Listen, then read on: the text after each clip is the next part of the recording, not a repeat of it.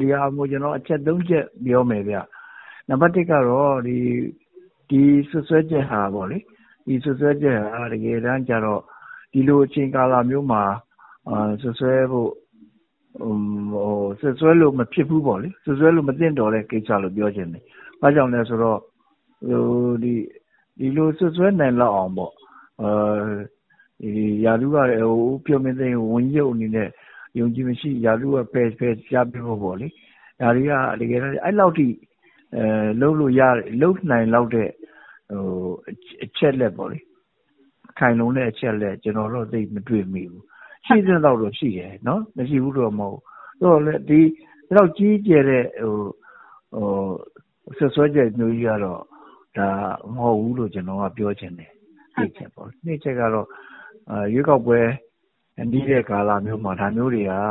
ကျွန်တော်တို့ အများနဲ့ကြုံတွေ့ခဲ့ရကြုံတွေ့ခဲ့ရတဲ့အဖြစ်မျိုးပါပဲ အဲဒါကြောင့် ဒီဟာရွေးကောက်ပွဲနီးတဲ့အခါမှာ လုပ်တဲ့ လုပ်လေလုပ်ထရှိတဲ့ လုပ်ငန်းမျိုးလို့ပဲအဲကျွန်တော်ပြောချင်ပါတယ်နော်နောက်နံပါတ်3ချက်ကတော့ ဒီဟာကိုတွတ်တော်ထဲမှာအာပြန်လာပြောကြဆိုကြ မဲခွဲကြမယ်ဆိုရင်လည်း ဘယ်လိုနည်းနဲ့မှ အနိုင်ရမယ်မဟုတ်ဘူးလို့ကျွန်တော်ပြောချင်ပါတယ်။ပါတီကတော့ဘာမှမတုံ့ပြန်ပါဘူး။ဒါတွေကလွတ်တော်နဲ့ဆိုင်တဲ့ကိစ္စဖြစ်တဲ့ကြောင့်လွတ်တော်ကပဲတုံ့ပြန်ပါလိမ့်မယ်။ဟိုဦးပြိုးမင်းသိန်းဆိုတာကတော့ပြည်သူလူထုကရွေးချယ်တင်မြှောက်ထားတဲ့ကိုယ်စားလှယ်လေနော်။အဲကိုယ်စားလှယ်ဖြစ်တဲ့အခါကျတော့ဒီကိုယ်စားလှယ်ကိုပြည်သူလူထုကဘယ်လောက်ထိကျင့်တတ်မှုရှိလဲအဲဒါမှမဟုတ်လဲဘယ်လောက်ထိဒီမကျင့်တတ်လဲဆိုတာကတော့ဒါအားလုံးဟိုဟိုချိန်ချင့်ချိန်ပြီးတော့မှ ဒါလုပ်တင်တယ်လို့ထင်တယ်နောက်တစ်ခုကလည်းဒီဟာကဒီဘလူပဲဖြစ်ဖြစ်ပေါ့လေဘယ်လူမျိုးပဲဖြစ်ဖြစ်ဘယ်သူပဲဖြစ်ဖြစ်အလုပ်လုပ်ရင်ကတော့အားနည်းချက်ကျွင်းချက်တွေရှိမှာပဲအမှားတချို့ရှိမှာပဲအဲ့ဒါကိုဒါဒီလိုဟလာဟိုအယုံကြည်မရှိဆိုတာလောက်အောင်လုပ်ရမယ်လို့မျိုးမဟုတ်ဘူးလို့ပဲကျွန်တော်တို့ပြောချင်ပါတယ်လုပ်ဖို့ကတော့သူတို့လုပ်နိုင်အဲလုပ်လုပ်လို့ရအောင်ပေါ့လေလုပ်လို့ရအောင်ကတော့တစ်ဖက်ကဒါကိုဖန်တီးနေတာလေအဲ့တော့ဒီလိုဖန်တီးတဲ့ဟာမျိုးကိုတော့ကျွန်တော်ထင်တယ်အဲ NLD ကိုယ်စားလှယ်များနဲ့ တခြား ဒီမိုကရေစီအင်အားစု ကိုယ်စားလှယ်တွေက ဒါကို လုံးဝ ပယ်ချလိမ့်မယ်လို့ ကျနော်ယူဆပါတယ်။ဒါလည်း ဖြစ်နိုင်ပါတယ်။ကျနော်ကတော့ အလုပ်လုပ်တာကိုးဗျ။အလုပ်လုပ်တဲ့လူဆိုတော့ ဒီလိုပဲ အမှားအယွင်းကတော့ ရှိမှာပဲ။ကျနော်တို့ မကြာခဏ ပြောဖူးပါတယ်။အလုပ်လုပ်ရင်ကတော့ မှားမှာပဲ။ဒါပေမဲ့ ဒီထက်အမှားကတော့ ဘာမှမလုပ်ဘဲနေတာ အမှားပဲလို့ ကျနော်ကတော့ ပြောချင်တယ်။ဘာမှမလုပ်တဲ့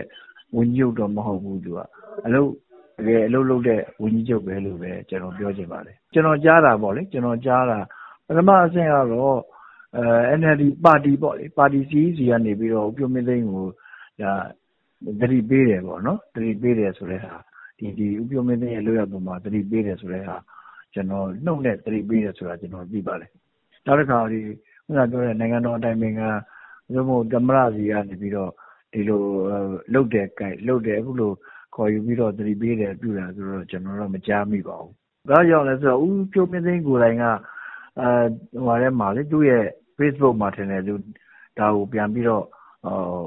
ခုခံခြေပထားတာကျွန်တော်တို့ဖတ်လိုက်ရတယ်လေဒီဒီအဲ့ဒီကိစ္စနဲ့ပတ်သက်လို့အဲ့ဒါအဲ့ဒါပဲကျွန်တော်တော့ဟိုတွေ့ပါတယ်အဲ့ဒါလည်းကျွန်တော်တော့ဟို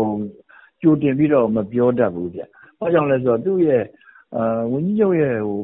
ပြန်လဲခြေပတ်ချက်ပေါ့လေပြန်လဲပြီးတော့ပြင်ရှင်းချက်ပေါ့အဲ့ဒါလေးကလည်းထွက်ထားတာဆိုတော့လေကျွန်တော်တို့အဲ့ဒီဟာကိုဟိုသိပြီး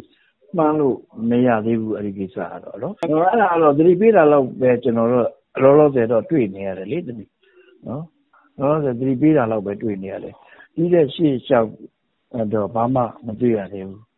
အဲ့ဒါလည်းကျွန်တော်မသိဘူးပြအဲ့ဒါတော့ပြည်စီစီဝေးမှာညာပြောတာလေနှုတ်နဲ့သတိပေးတယ်ဆိုတဲ့အဆင့်လောက်ပဲကျွန်တော်တို့ သိရတယ်ဘယ်လောက်ထိစကလုံးကဘယ်လောက်ထိရှိလဲဘယ်လိုအတိုင်းအတာရှိလဲဆိုတော့ကျွန်တော်တို့လည်းမသိဘူးအဲ့ဒီဟာတော့